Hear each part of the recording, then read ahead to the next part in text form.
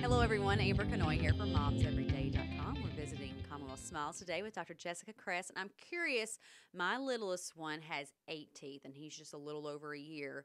An- another child at the sitter has no teeth, and they're pretty much the same exact age. So, is there really ever a point that they should be worried?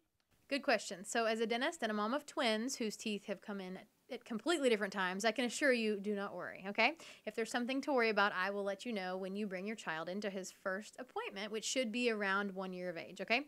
There is a table behind us that shows us kind of averages, but averages will drive people nuts, okay? So don't worry so much about those. You know, leave it to me to let you know if there is something to be concerned about. For instance, when children grow up, sometimes they're missing permanent teeth. We catch that on x rays. If that's an issue, we will let you know how to handle it and how to plan for it.